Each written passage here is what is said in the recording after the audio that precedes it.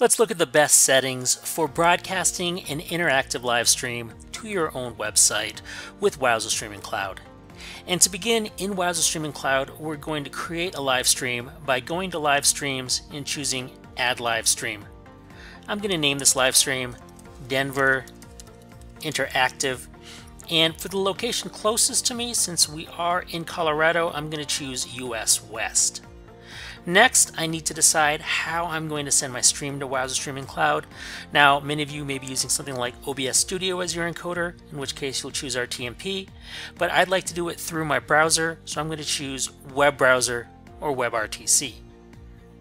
For billing, I'm going to leave it pay as you go since my sessions are probably going to only be 20 to 30 minutes long. Um, I'd like it to be adaptive bitrate, so I'm going to leave it alone. That way the bitrate changes depending on the internet connection speed for those people on mobile devices. Uh, I'm also going to say yes, create an HLS stream with reduced latency. This is interactive, and that way the latency changes from a 30 to 45 second latency down to maybe 6 to 12 seconds. I'm going to leave the aspect ratio at 720p because that's the max really for WebRTC. I'm going to choose yes, create a VOD stream for this live stream. That way I have a simple link that I can switch out to to watch the VOD from the website. And uh, I'm also going to say yes to record this live stream. That way at the end I have a video file I can store for posterity. Now for type of closed captions, I'm going to say none because I don't have any. And next, I'm not going to worry about playback settings because we're not going to be using the uh, players that are given here to which all the settings relate to. And I'm also next on the other page not going to host the web page in Wowza Streaming Cloud because like we said, we're going to use our own website. So I'll click next again and verify all my settings and then click finish and our settings are then stored and now I can go live. Once I go live, I will be incurring charges. Another thing I should mention is that because we are doing this via WebRTC, we have this option for a publish page. I can go into the publish page, I can check my audio settings, maybe make sure it's using my headset. I can also go in and maybe share my screen if I want to. But uh, instead of doing that, I think I'm going to just uh, use my webcam.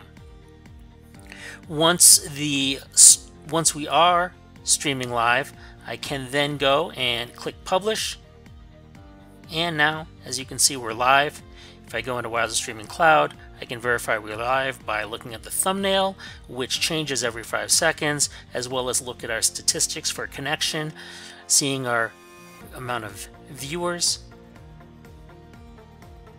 and the next thing I'll need to do is take this HLS URL and put it on my website.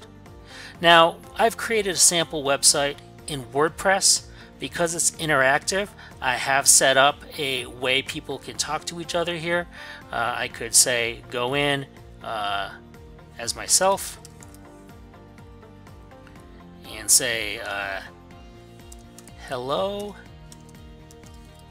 everyone. So this is a great way people can chat with each other as well as ask me questions during uh, the presentation. Uh, this is currently the code that's in there. I'm using a uh, basic plugin called Rumble Talk that's uh, for WordPress. Um, I'm not into any of the advanced features yet that allow more users. Uh, that does cost money. Right now I've just set it up for five users and that's free. Um, as well, we're going to use VF Player. Again, um, for more functionality it does cost, but I'm using it at the standard setup and I'm just going to add new for sorry if I said VF player before it is FV player. And here I can paste in the uh, video URL and uh, that's all I'm going to do. I'm just going to save that right there. And it generates it here along with the code. I'm just going to copy that code. And I am going to paste it above Rumble Talk. So now I can click update. And now if I reload code. Here I am right at the top, so people can watch me while I, uh, well, answer questions from the chat box below. Like I said, there is a little bit of a lag. Reload. As you can see, it's already talking about reloading right now.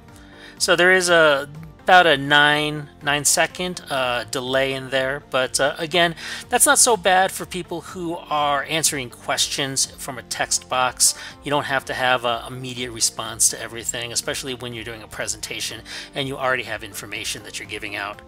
Uh, once this is done I can go in and stop my live stream as well as stop it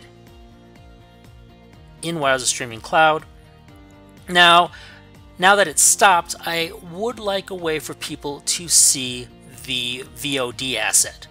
So under advanced, as you can see, there are two options. One, recording, and the other, VOD streams. If you recall, I checked both of these when setting up this live stream. So under recording, I could go in and grab the recording for the live stream, but as you can see, it's still converting it to a file. So under VOD streams, there is my stream completed. I can click on that and grab the playback URL. So I'm just going to copy that URL and uh, I can just go again into FV Player, paste that in, save it. And now all I need to do is switch it from 7 to 8. So I'm going to go and edit this. I'm going to switch it to an 8. And if I ever want to go back, I can just switch it to a 7. I probably want to go in and add some splash screens too. That will help distinguish the difference between uh, the recording versus the live stream. And then I can just reload this.